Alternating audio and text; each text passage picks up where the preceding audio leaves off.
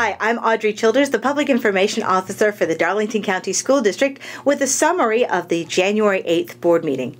The board meeting began with District Safety Officer Lorenzo Woodham recognizing the December Clean Schools of the Month. The two December Clean Schools of the Month were the Darlington County Intervention School and Pate Elementary School. Congratulations to the custodial teams of both those schools.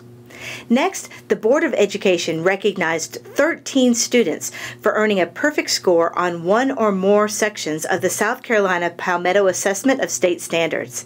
Those 13 students are Ella Alexander and Sam Peel from Carolina Elementary School, Ashley New, North Hartsville Elementary School, Gianna Banbury Caleb DeWitt and Victoria Rogers from Darlington Middle School, and Hartsville Middle School students Hannah Jewell, Madeline Johnson, Tegan Lillian, Malik Rogers, Stella Tu, Jacayla Johnson, and Taylor Salazar. We're very proud of these students for their outstanding academic achievement. January is School Board Appreciation Month, and our board members marked it by sharing the principles from the South Carolina School Board Association with the audience and then signing a poster for display in the administration building. They also received goodies from the Darlington County Teacher Forum as well as the Darlington County Principal Association in several schools. Next, the Board of Education continued their efforts to update board policies. This month, they gave final reading to policy updates on content and credit recovery, summer school, advanced college placement, grading and assessment systems, and the promotion and retention of students. These policies are found in our policy manual, but you can also see them online under Board Docs and by calling the Office of Communications.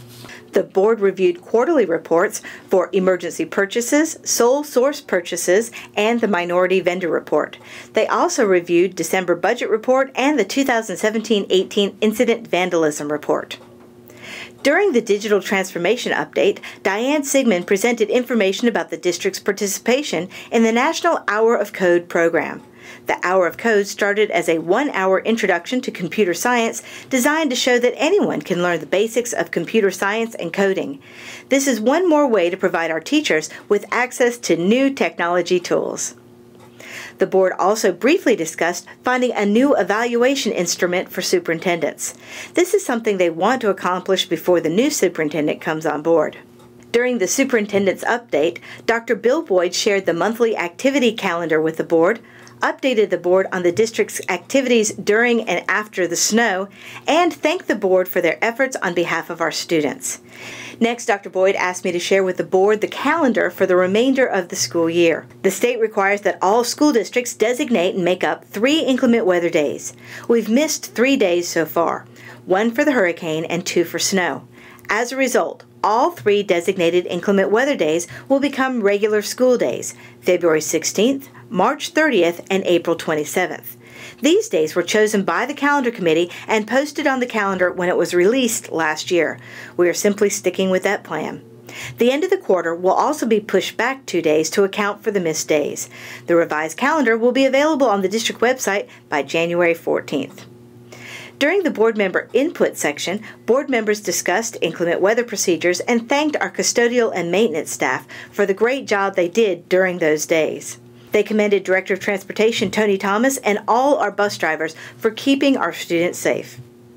They asked about who would represent the district at a national conference, and they all expressed gratitude for serving in such an outstanding district. The board then went on to approve personnel actions as presented. The board members went into executive session to discuss the superintendent search with Dr. Rainey Knight, as well as negotiations regarding property and construction matters. When the public meeting resumed, no action was taken on anything discussed in the executive session. The board will have a special called meeting on January 19th to begin evaluating the candidates for superintendency. And that's a summary of the January 8th Darlington County Board of Education meeting. Thank you.